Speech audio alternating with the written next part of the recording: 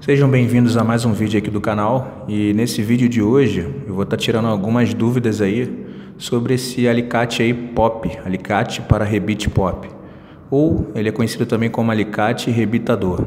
Tem muita gente que pergunta aqui para que, que serve essas pontas nele aqui, ó, e os tipos de rebite que servem para utilizar nesse, nesse alicate, tá bom? Então bora pro vídeo.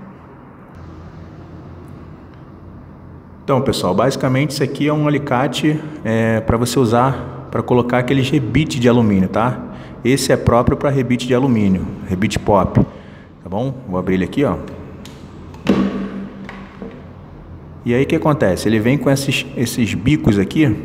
E o que, que para que, serve esse bico? Cada bico desse é para um tipo de rebite, tá? E aí cada rebite você vai usar uma determinada broca, vai ter um furo específico. Então você consegue perceber que ele tem tamanhos, furos diferentes, tá vendo?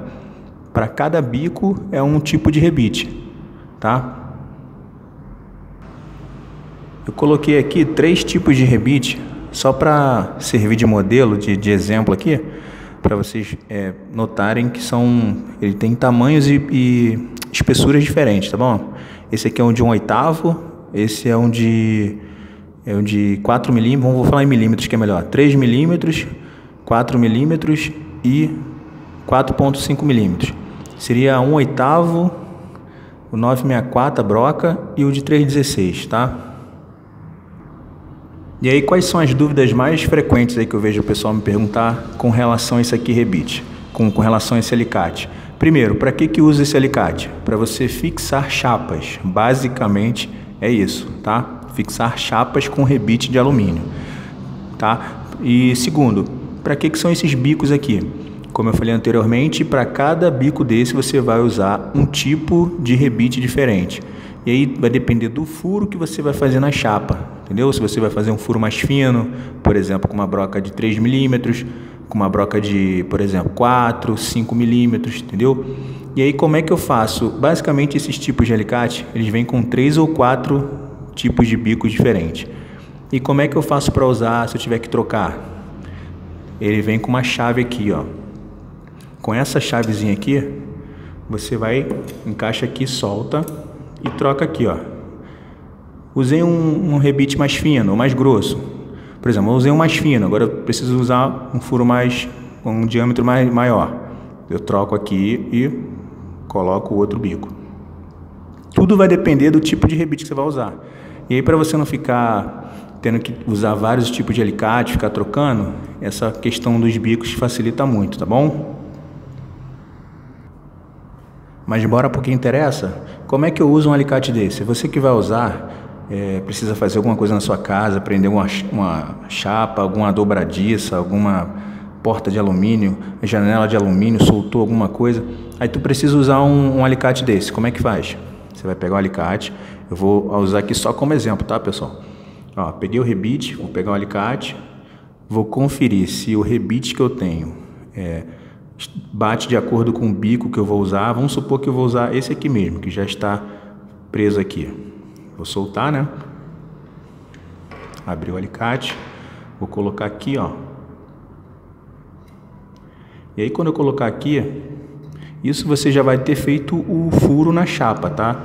Você já fez o considerando já, vamos supor que você já tenha feito o furo na chapa. Fez o furo, colocou o rebite adequado de acordo com o furo.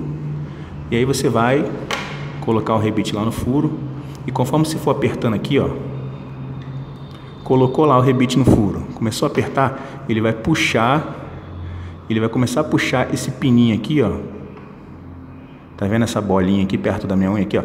Ele vai começar a puxar e expandir esse rebite, até chegar um ponto que ele vai chegar no limite, ele vai expandir e vai travar, vai pressionar a chapa. Vamos supor que você está colocando uma, dobra, uma dobradiça. Quando você expandir, que ele ficar puxando até o final, ele vai virar tipo uma bola, vai, vai expandir e vai travar com pressão, vai fixar, vai fazer uma função como se fosse um parafuso prendendo é, a dobradiça no caso. Tá bom, pessoal?